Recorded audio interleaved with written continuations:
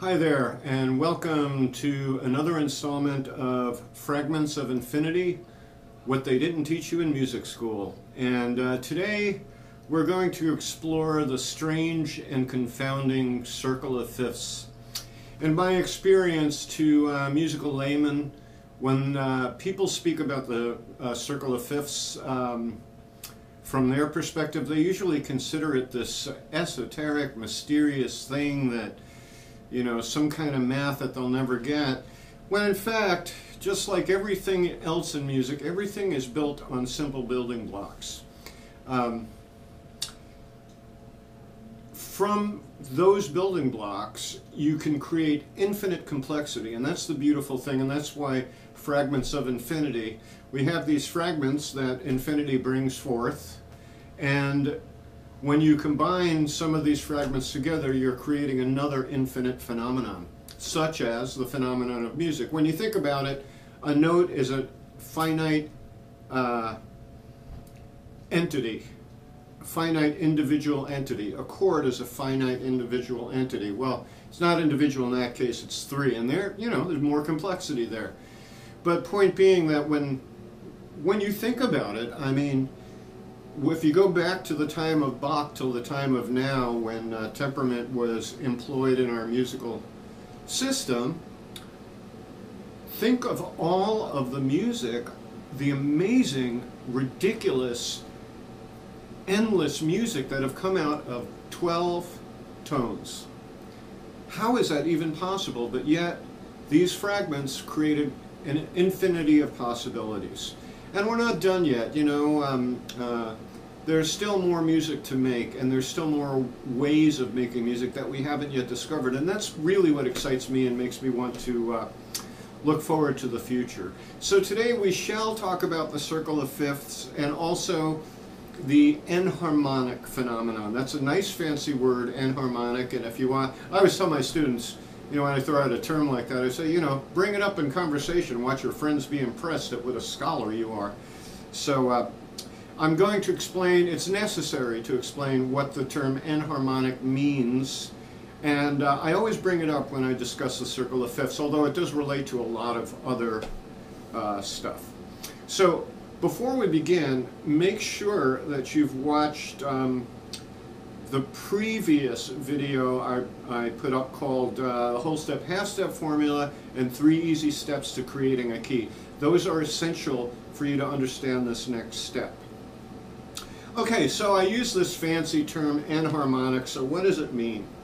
Um, enharmonic, different names, different names for the same pitch, chord, key, or scale. That's right, even there are enharmonic keys. Now, if you see right above here, I have the chromatic series listed, and the way I listed it, and this is just a personal preference, I don't even know why, I, I tend to default to flats, which is odd because guitar is more of a, a sharp, friendly key, but um, there's something about flats I kind of like, I don't know what it is. But anyway, so we have uh, C, D flat, D, E flat, E, F, G flat, G, A flat, A, B flat, B. And notice between E and F, and well, we don't have the, the octave C up here, but if we did, uh, E and F and B and C don't have a note in between. Those are the half steps that arise from, uh, that we find in the key of C, okay? It's just, just think of it as names like Harvey, Bill, and Bob, all right? Don't worry about it, or Sally and Jane, I don't want to be sexist here. So yeah, just um, just uh, think of these these note names. It's very very abstracted. So just think of them as labels for a musical phenomenon. Keep it in that abstract sphere because otherwise you might get confused, like you know, what what all these symbols mean. So now you'll notice that this is the 12 notes of our chromatic series but dropping down these arrows, you notice I have D sharp, uh, C sharp, D sharp, F sharp, G sharp, and A sharp, which are the same note, like C sharp is the same note as D flat, right? Uh, e flat is the same note as D sharp. One musical phenomenon, two different names. Sound exactly the same. There is no difference. Uh, there was a time before pre-temperament where um, two notes with with uh, different name, like say uh, E flat and D sharp, would actually sound the same. That's a very strange thing.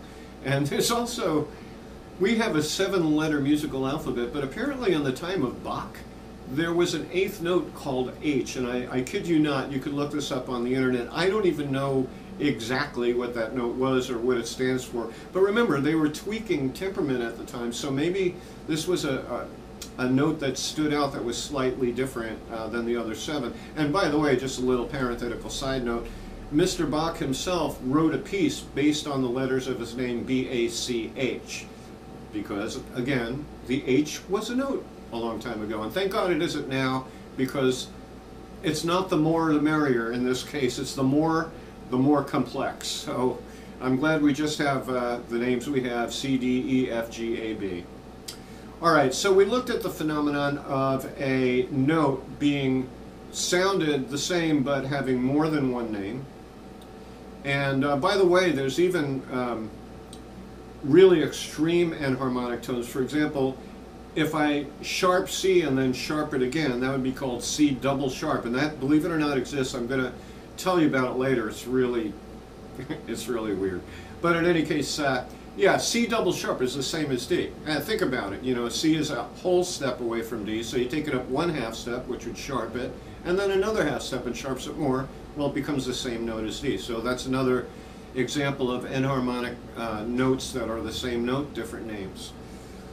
Pardon me. Now, let's uh, talk about um, chords. Now, when we get into the deeper stuff, the harmony stuff, I'll explain all this, but I'll give you an example like um, uh, A minor 6 is the same chord, sounds exactly the same as F sharp minor 7 flat 5. The only difference being that the bass note in that chord changes. And F sharp minor 7 flat 5 is also called F sharp half diminished. Now the half diminished is a classical term and it's one of those classical terms that are useless. And why I say useless, if I say F sharp minor 7 flat 5, right? I know that I have an F sharp minor 7 chord and I need to take the fifth of that chord and flat it.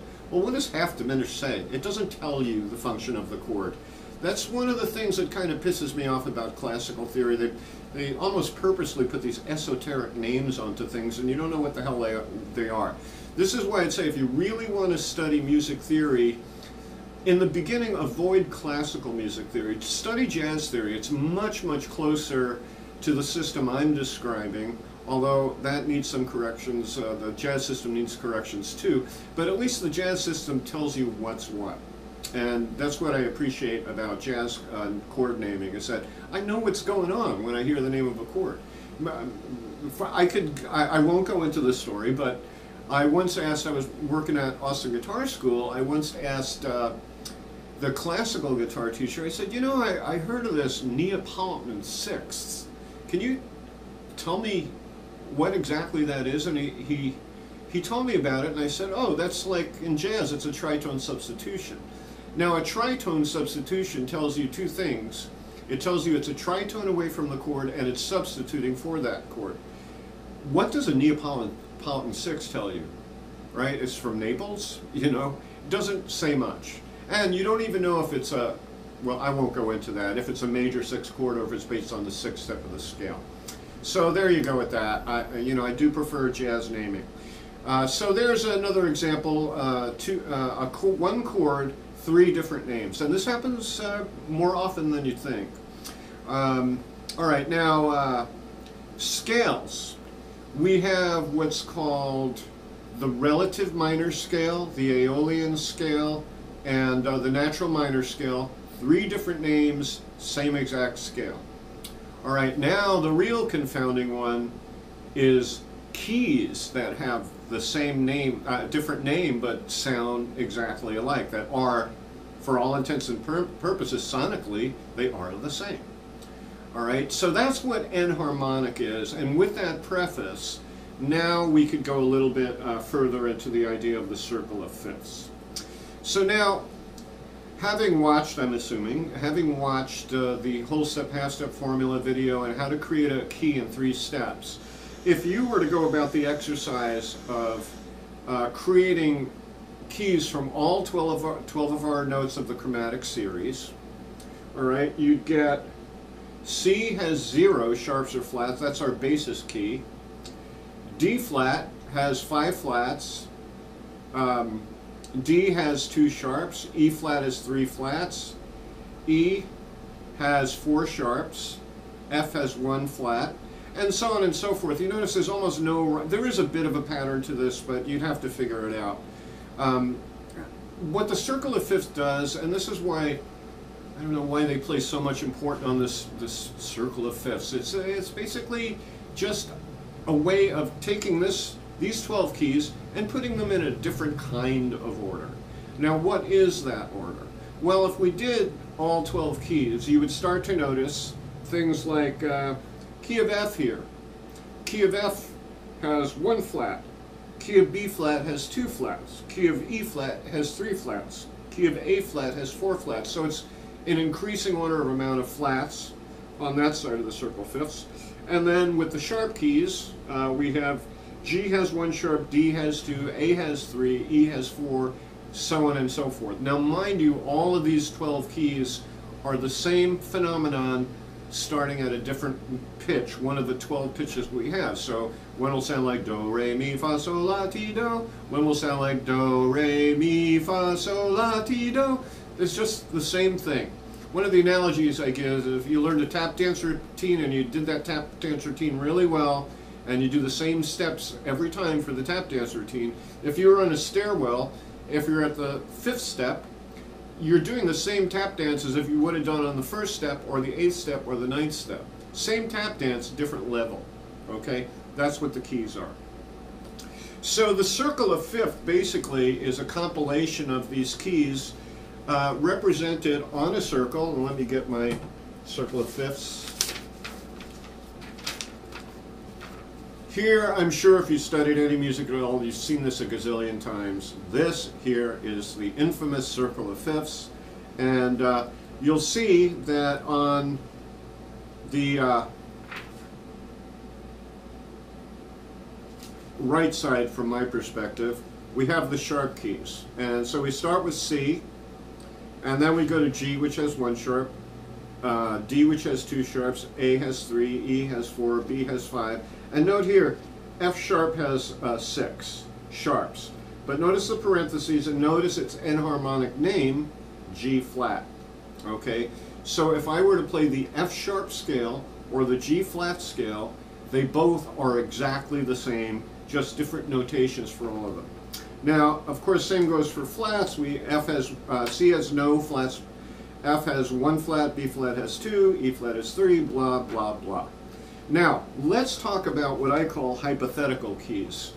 Um, in some depictions of this, in fact, quite a few, you're looking at the sharp keys, they keep going uh, up a few more steps. For example, they'll list a key of C sharp, which uh, does exist. C sharp is the same note as D flat yes, you can have a key of C sharp.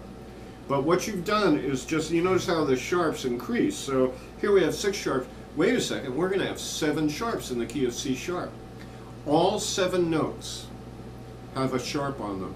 That's almost easy because if you know the key of C, C, D, E, F, G, A, B, you know C sharp. C sharp, D sharp, E sharp, F sharp, G sharp, A sharp, B sharp, right?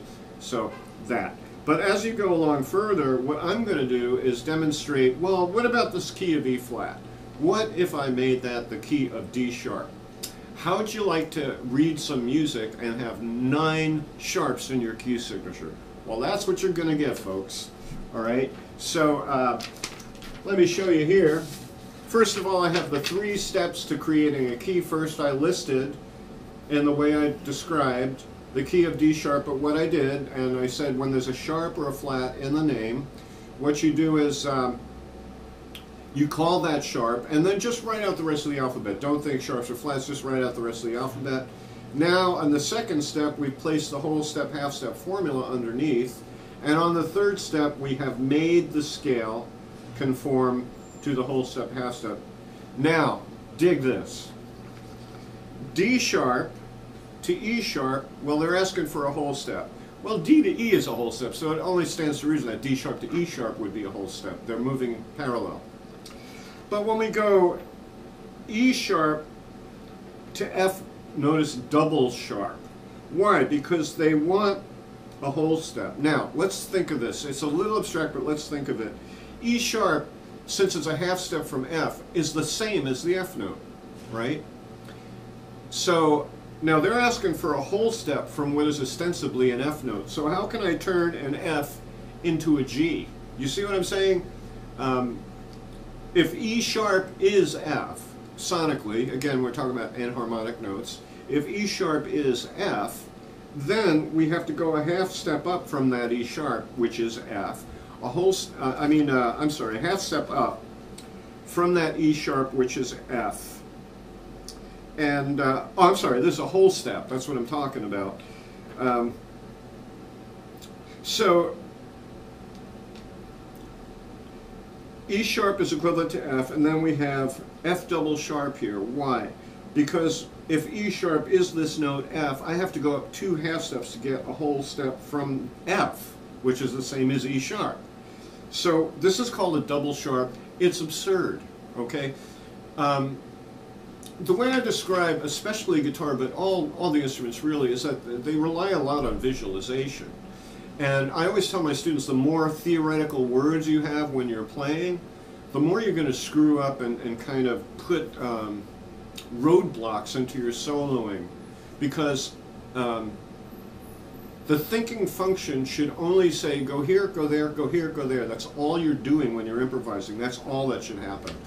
When you start thinking, okay, well, let me see, I need a whole step from F, but I'm in the key of D sharp, so F double sharp would be equivalent to G, blah, blah, blah, blah, blah. By the time all that thought has occurred, the song is already over. So, uh, uh, so then we have F sharp double sharp now, which is equivalent to G, the same as G, and then we have G sharp. Well, they're asking for a half step, we got it.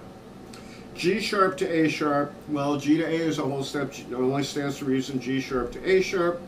And then A to B is a whole step, so A sharp to B sharp will be a whole step. All right, so